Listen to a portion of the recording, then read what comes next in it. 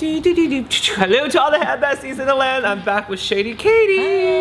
As you can see, she is back with that crazy brutage. I swear, I don't see you for like six months at a time. I know, this is what happens. I wait for you though. Hey, I appreciate the loyalty. You'll be a mess for me. Thank you. We can never change it because her blue is stuck in her head. But this is pretty cool seeing that the tone is still there after six months and she shampoos her hair like every day. So today we're gonna use our new Ocean Rain color. I love that. Yeah. Pisces, so. Oh, it all works out. So Ocean Rain with our Green Aurora. I want to go full color deposit so you guys get to see the richness and the depth of the color because it's so pretty. I'm so excited for new superpower shades. Oh, do you see our beautiful tulips over here? They are pretty. Are you ready to go? Let's do it. Pan.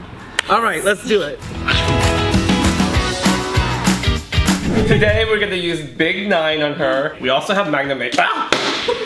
Wow! But as you can see, Shady is, she's shady. She has level one hair, so we have to turn to Big Nine. So you have a choice of using one to one half ratio or one to two. One to two is gonna get you less lift but more spreadability. One to one half will give you the maximum lift and you're gonna get more of a thicker, more luxurious consistency. Mm. When I add Olaplex to the formula, I'm only gonna use this much. Don't put too much product in it. Less is more.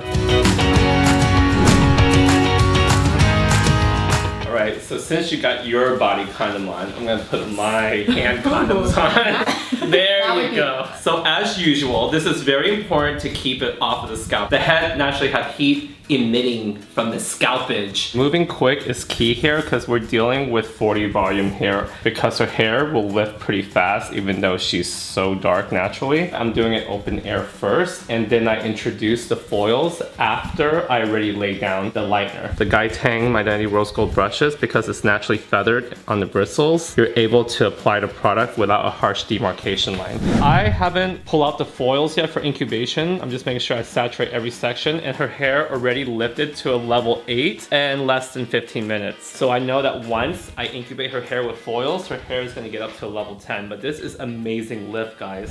So we are 15 minutes in after laying the foils down. I want you guys to take a look how light Shady's hair lifted. Her hair is a level 10 already. So what I'm gonna do is hit the routage. I am gonna open her up right in through there and I'm gonna lay Big Nine down. You can literally turn the pages of the foil. What I find is like turning the pages here actually gives you easier access to the scalp because everything's already pre-sectioned for you. I'm just gonna do this throughout her whole entire head and let her process for an additional 15 minutes. So a total processing time of 45 minutes altogether.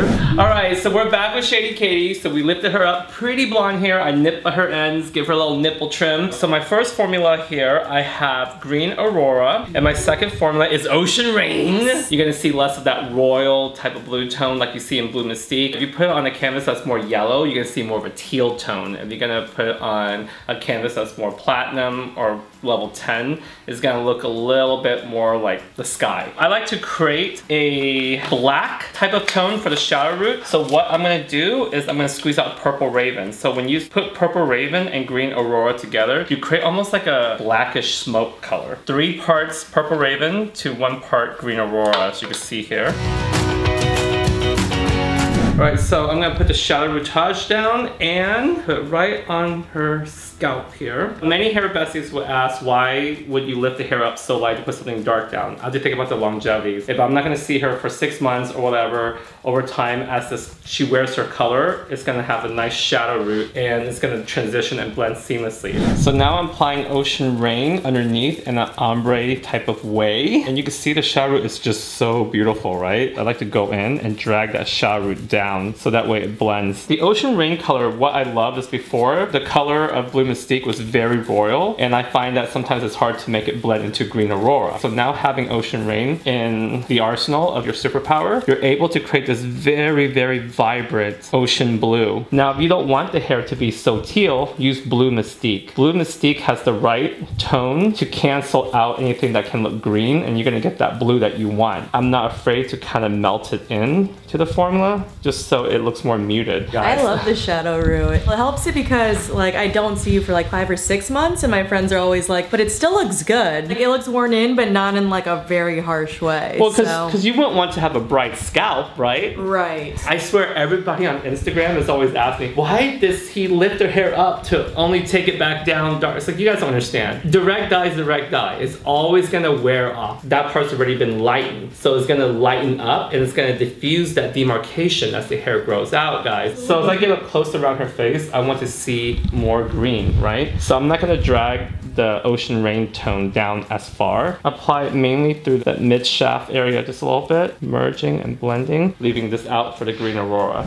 So we are going in with green aurora now, performing a color melting situation here. I always like to apply the formula on the ends first and then actually merge it through the mid shaft. One thing I love about the Superpower Direct Dyes is the product really spreads and penetrates easily through the hair. Okay, so what I'm gonna do now is lay a mesh sheet. I'm just gonna cover the back and just kind of let it lay on back. Okay, so now I'm gonna over direct everything to the front. This is something I've been loving to do is create this halo effect around the head. We're gonna start right here on the fringe. I'm gonna lay a mesh sheet down. I cut out a little cardboard. This really helps me.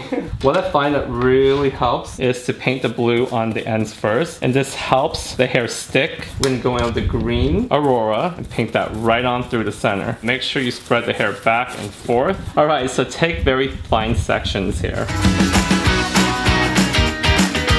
But what's really important on why I left this mesh sheet underneath, now I'm gonna turn it over and close the mesh and then tilt it right on back, just like that. And then now we'll let her process for 25 minutes. My superpower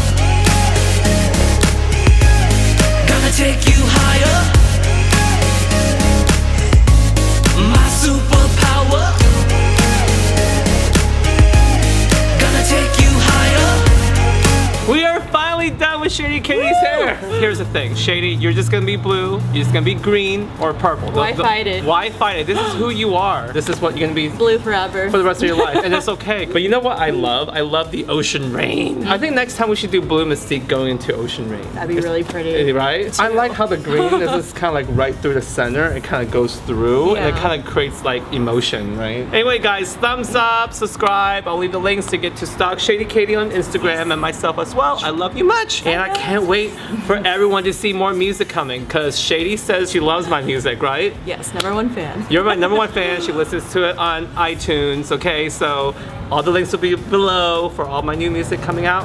Love you guys much. Bye.